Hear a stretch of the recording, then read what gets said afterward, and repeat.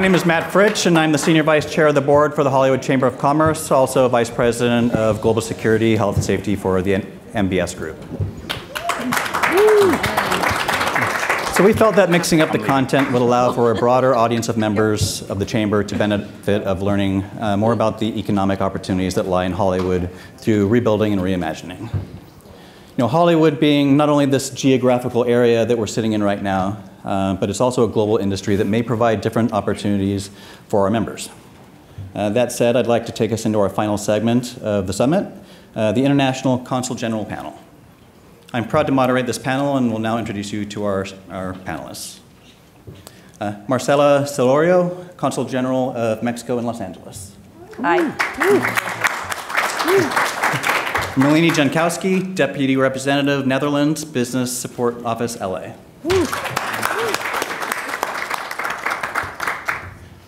Marcella Smyth, Consul General of Ireland. Uh, Zaib Shaikh, Consul General of Canada here in Los Angeles. And Chilette Semel, uh, Director of Cultural Affairs, Consulate of Israel in Los Angeles. Yes, to get things started, um, explain your interest in Hollywood. So, why Hollywood? What can ho- the Hollywood business community do for you, and what can you do for the Hollywood business community? Who do you want? We can start off at the end. Oh, me? Hi. um, okay, so, you know, I think there is a big similarity between um, Hollywood and where I'm from, which is the Holy Land, in the sense that those are two places that are physical places, but they're also um, ideas. They're also um, um, yeah, so a, lo- a lot of people have this idea of the Holy Land as much as a lot of people have this idea of Hollywood, and this it's a it's a place that is a dream, and um, and there's a bit of a gap, I believe, between uh, the actual place and the idea, and this is a gap that we are trying to bridge in our everyday lives in Israel and definitely in um, I, I would say, um, promoting Israel to the world. Um, and I think this is something that Hollywood is dealing with as well. Um, so there's a, the difference between, uh, I think you're constantly chasing this idea of a place and, and the difference between becoming the place and becoming the, the doers that make it what it is, that make it the dream for others. So um, in our in my in my area which is the cultural area which is arts and commerce obviously hollywood is the place um, to be. And i think in uh, specifically if we talk about uh, the business of uh, television um, we are at a very specific place. And i mean we just heard from ted sarandos um, who represents this uh, moment in time uh, that we're uh, that we're at um, with the change in the relationship between Hollywood and the, the world, uh, Hollywood and the rest of the world. It used to be that Hollywood would create content that is primarily American for American audiences, and then later on, it would broadcast it to the world as a secondary market. And what we're seeing in recent years, um, in the recent few years, uh, because of the streamers and because of the pandemic, which accelerated this uh, process, is a, a shift in the uh, relationships between in the relationship between Hollywood and the world, in the fact that international content is suddenly being viewed by the world. Um, so it's being made by the world and it's being viewed by the world as a primary market, and that's a very big change. Um, and I think, I mean, we you discussed. Uh, uh, Squid Games before, which is the biggest example. I mean, we are watching foreign content. We are watching international content in international languages. We're exposed to new worlds and new ideas. And uh, a lot of our, uh, our um, nations have uh, benefited from, uh, from this change. And it created, uh, Hollywood became a place for business for the world. And as we are all in this, um, this um, physical physical, finally, this physical gathering, I think it is about the importance of a physical entity, a place that is physical for all these ideas, motions, and everything. So uh, Hollywood is that place. Hollywood is that place of business. And um, my colleague from uh, uh, the consulate in uh, New York is here today. I'm so delighted that he's here uh, with me. Uh, Daniel Zuz, who's the head of film and television in North America from the consulate uh, in New York. And together, um, we are not diplomats. We are, we are, um, we are from the um, industry, I would say. So we are people from film and television, and it's an interesting thing that the Ministry of Foreign Affairs in Israel does, where they hire professionals to have this professional discourse with the industry. And uh, what we have done, uh, since we uh, both uh, took our positions in the ministry, is we have brought the ministry into the industry. We decided that uh, it is our duty to be uh, instrumental in, in creating these relationships between the Israeli creators um, and producers and the American and the global industry. Um, in order to foster relationships and to foster business. And uh, we are extremely delighted today because um, we are here working on our first summit, which is called Scripted Israel, which is going to take place here in Hollywood um, between the 19th and the 22nd of September. So it's really soon, and it is going to be the first uh, official summit promoting uh, Israeli content on the global stage. Um, we have various partnerships with uh, all the major studios, uh, streamers, production companies, agencies, and managers. We're going to bring over a delegation of around 40 of Israel's top uh, producers and uh, writers for scripted television and create um, opportunities for them to meet the American industry. Uh, it was going to be one-on-one meetings, and there's going to be a lot of networking opportunities for them and educational opportunities for them in order to even the playing field and, uh, and foster new business and new relationships. Um, and uh, yeah, that's, that's what we're doing. right. Thank you, Shalette. Uh, Malini. Um, yeah, so the Netherlands is a very small country compared to the LA region. So uh, we try to show the companies that are interested in this region that there are so many opportunities here and why they should come to LA, Hollywood, the Southern California region. Um, and we focus on different sectors here. For example, healthcare, creative industry, circular urban development, sport, just to name a few of those. And uh, for example, in two weeks, we have a very big trade mission coming up for healthcare and urban mobility. Um, there are over 100 companies joining us for this trade mission. Um, we'll be joined by several ministers and other government officials. And here in LA, we'll be visiting different organizations, uh, universities, hospitals, anything of relevance for those companies. And of course, after this trade mission, we're hoping that uh, a number of these companies are going to invest in Hollywood and that some are going to be part of the ecosystem here. Um, and another example that I wanted to share of direct investment here in Hollywood is a collaboration between a project developer and a Dutch architecture firm. They're working on the first LEED project, so LEED being leadership in energy and environmental design. And uh, this architecture firm is specialized in sourcing their materials locally.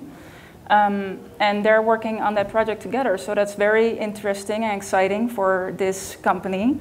And um, a great example of direct investment here, I'd say. Thank you very much. Zaib? Um, well, Canada has the uh, good fortune, one might say, or uh, Hollywood has the good fortune, one might say, depending on which side of the border you're uh, living on, uh, of this amazing relationship.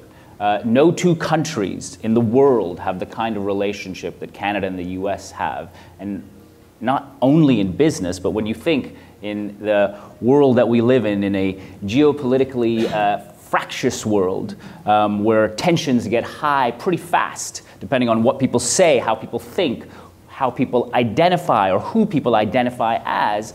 Canada and the US actually have the only binational command in the world where we protect together our land, air, and seas. This is very important. To add to that, we have this great relationship between the three countries that represent North America. So the USMCA, the new NAFTA as people call it, and I know dear Marcella will talk about it more, but that agreement alongside this, this idealism of being able to protect a region together.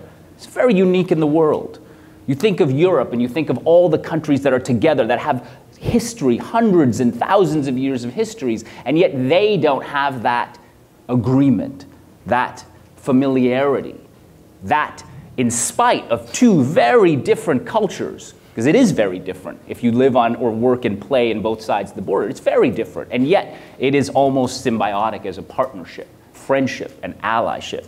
That's the basis of the relationship. And then when you take, put on storytelling content, when you think of Hollywood, as you spoke about, as an idea or an idealism, that's kind of the perfect realization of an idealism. This idea of storytellers coming together whatever gender they happen to be, whatever identity they happen to be, whatever the history of their arc of lives and ancestry, because of course we speak of our First Nations uh, people as well, our indigenous peoples, and our Metis and Inuit people. This is very important to us.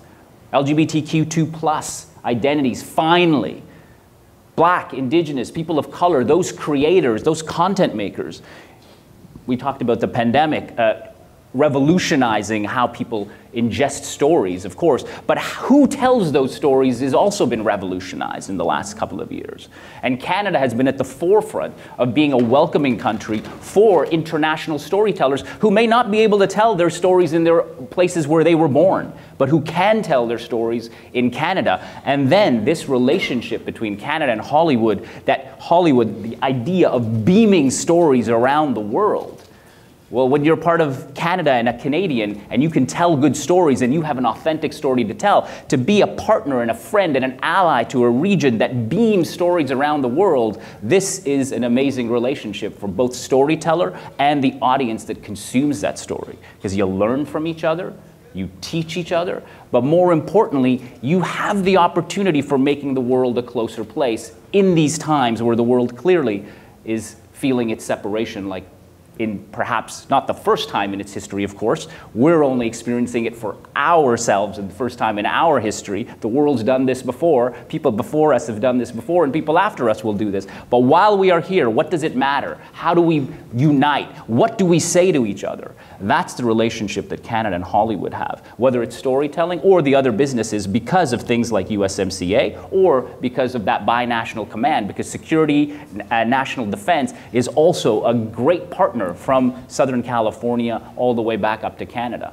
Uh, so that's kind of, you know, when you think about contextually, and we'll get into more kind of specifics, but I just wanted to kind of give that, that, that, that idea of dreams, uh, idealism, who we are, what we mean to each other, that plays an important role, and Hollywood is so important to that globally, but so are Can- Canadians, if not the country of Canada, the people of Canada are.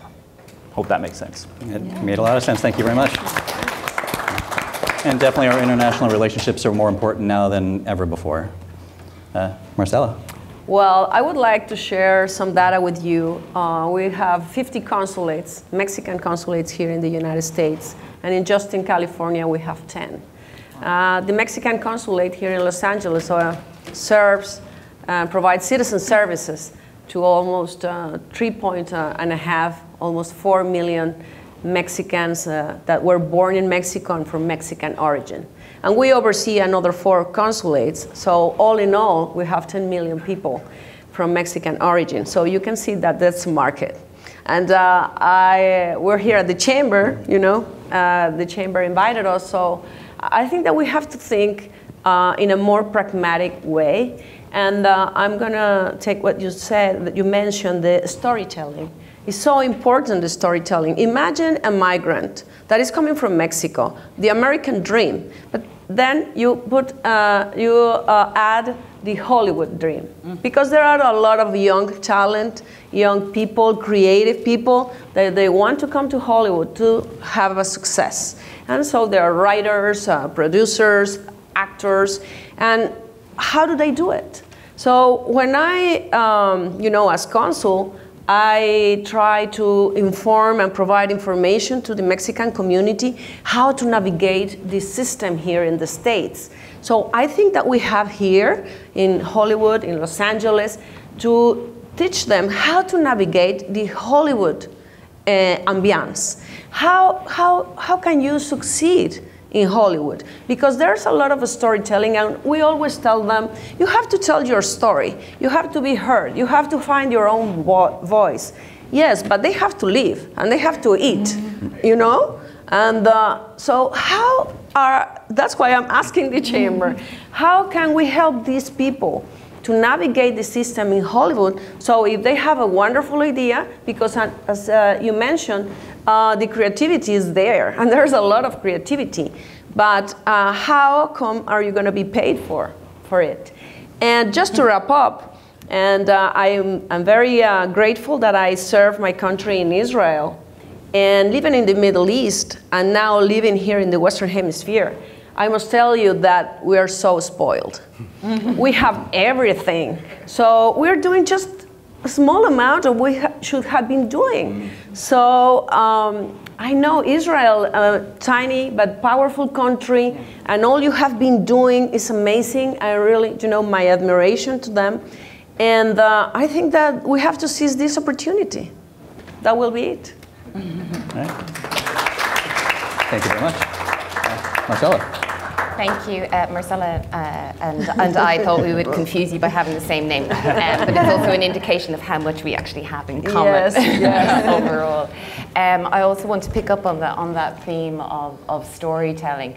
And I think it uh, comes as no surprise to anybody for me to say that Ireland obviously is a, is a nation of, of storytellers. In fact, there is a wonderful story that Hollywood actually owes its name to an Irishman, Matthew Girk, who uh, came over here uh, shortly after the Great Hunger or the famine, as you may, may know it, uh, in the late 1800s, from a place called Hollywood in County Wicklow, and brought that name with him. Our Hollywood is over a thousand years older than yours, so you're very welcome. it's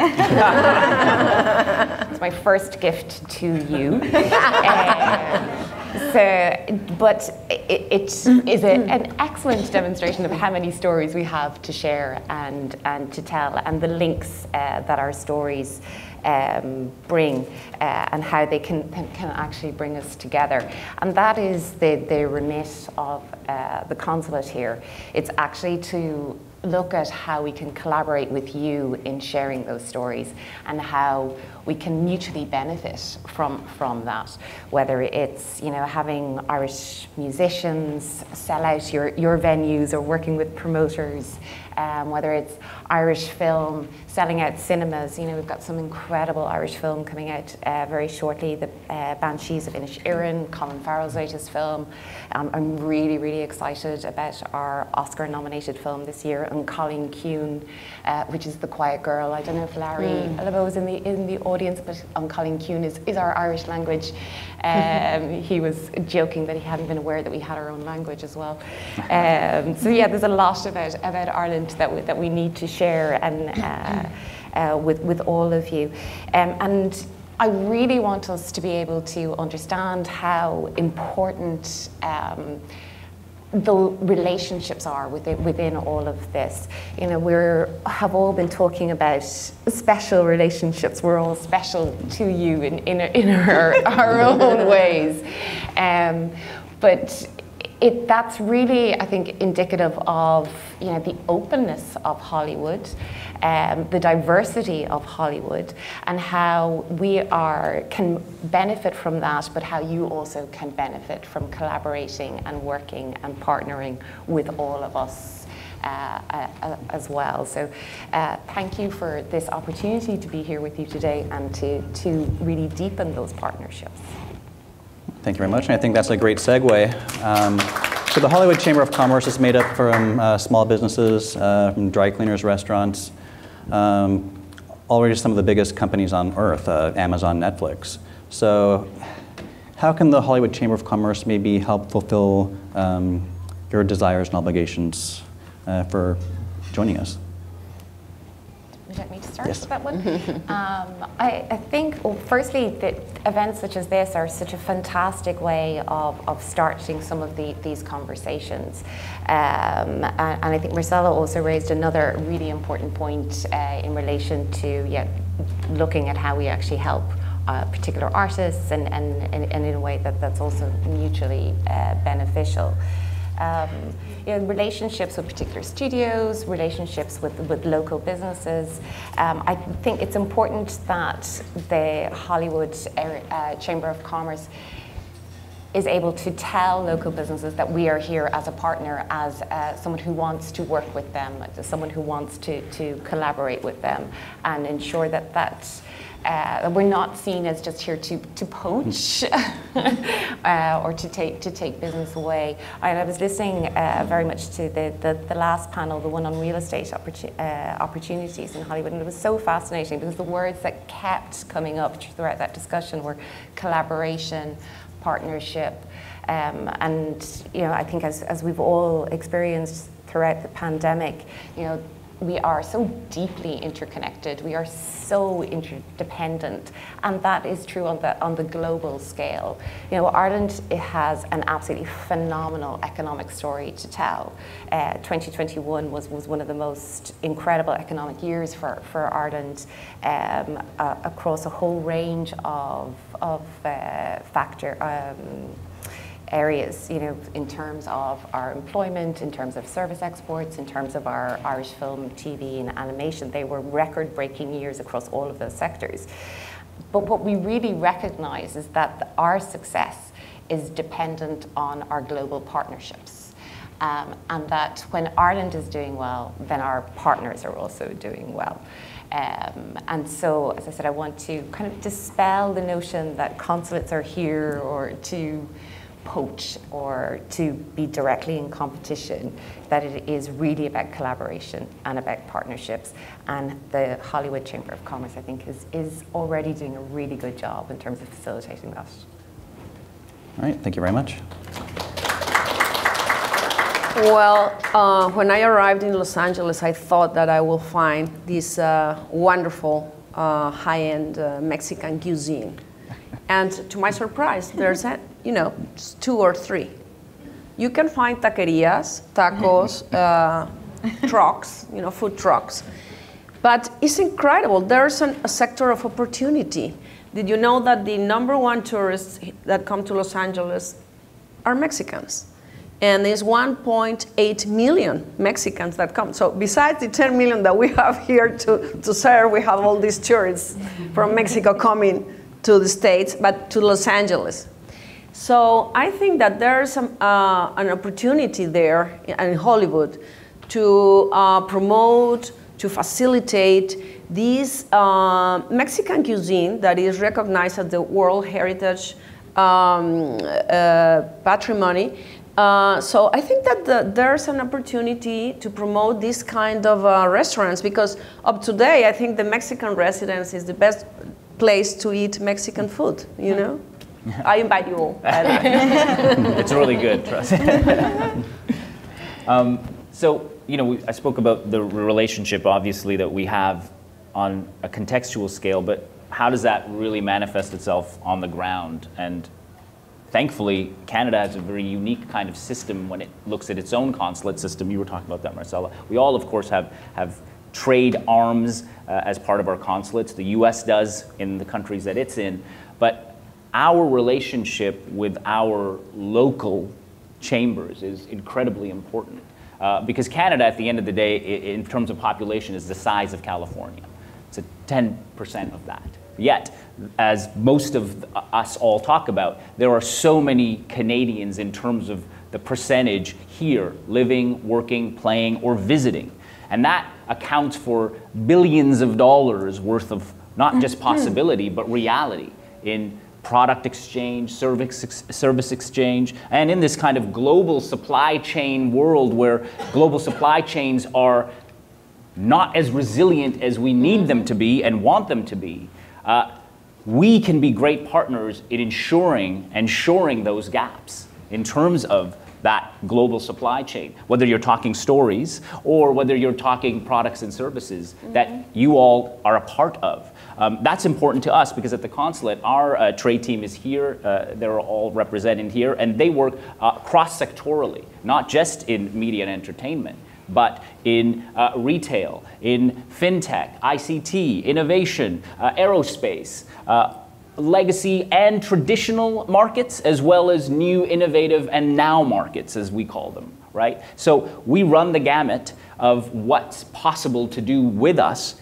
whatever business it is because we have what are called market acceler- acceleration programs. We call them high intensity services at the, at the consulate. Uh, we have about 16 or 17 in each sector. And what that does is allow for this relationship between Canadian SMEs and the American counterparts to exchange information, exchange ideas, exchange innovation, but exchange economy as well, GDP. That's important in exchange investment. So we help those Canadians come here, and we'd love to be more attached to what you are doing and who you are, so that we can also represent what's beyond that idea of Hollywood, that it's just about storytelling or it's just about going to some great, amazing event about storytelling or media and entertainment. There's so much more, there's so much more depth, and yet that is a foundational principle. So, how do you use a foundational principle and get the rest of the reality? a Part of it. One of the issues, though, I'll be honest, that you can also help us with is things like when po- large policies such as Buy America come into play, which inevitably are, of course, about the sovereignty and protection of the local or the regional or the kind of, you know, looking inward to make sure that in this post hopefully pandemic world, although we might be in an endemic, and in this very fractious geopolitical world where supply chains are not as resilient as we want them to be, despite this idea of globalism, that we're actually talking together to ensure that policies like Buy America don't hinder that supply chain integration that already exists between countries like Canada and the US. Because we don't just sell things together, we actually make things together. Mm. And if you really analyze through the USMCA, you'll see that that supply chain crosses three borders at almost an hourly clip whether you're making a hamburger, frankly, or whether you're making a vehicle, or whether you're making a great security and defense radar system and or software system. This is very important, and we're Buy America things, and I don't mean to harp on that, but I think it's important because that's a very kind of wide sweeping policy that's all about protecting the economy of the country, but some of the times the partners who are part of the protecting the country as well get lost in the shuffle. And so the chamber members can really speak up on that behalf of that relationship. That would be really great. And we can work with you so that you can identify some of the things that are important to you back in Canada or vice versa. So that's something I think that we could really work on together. Thanks. Yeah, thank you. And our last, one of the breakout sessions was about procurement, and it's very important to have you know relationships right now all over the world. Just try and get the things that our businesses need to kind of keep going. Uh, Malini. Yeah, um, I'll build a little bit more on what has already been said. Um, collaboration and partnership, I think there's a lot more to gain and a lot more possible there than what we're doing right now. Um, for the Dutch companies that are represented here, for example, how can they connect or um, yeah, connect with uh, members of the chamber? Or if we have a very uh, a question, a niche question from a film producer or a costume designer, how can we help them navigate here? Um, but also, for example, if we host another trade mission, um, we always need catering. or um, the Dutch people, the Dutch people love to bike. Maybe there's a bike shop or people that um, organize those sorts of events here in LA. That would be very helpful, and that's something that we're always looking for. Yep. Yeah, I mean, it's, uh, it's, it's, it's been said, but I just want to add to that. Relationships are the most valuable thing we can have. And because of the, the structure of the diplomatic world is such that a lot of people, we, we come for a specific time and then we leave. And there is no body of knowledge that, uh, that um, um, is, is remained because of this uh, tr- constant uh, transition. We come here, we create all these relationships, and then we leave. And places like, uh, I mean, bodies like the Hollywood Chamber of, of Commerce are instrumental because you get to meet all these people all at once and create all these relationships uh, all, all at once. And partnerships are the most important uh, think to us, I mean, we are sitting here today because of our fantastic partnership with New Filmmakers Los Angeles, which is a fantastic organization that I think has brought to everybody's attention the idea that uh, consulate generals are uh, uh, have a role in uh, in uh, the um, film and TV industry specifically, uh, and in Hollywood.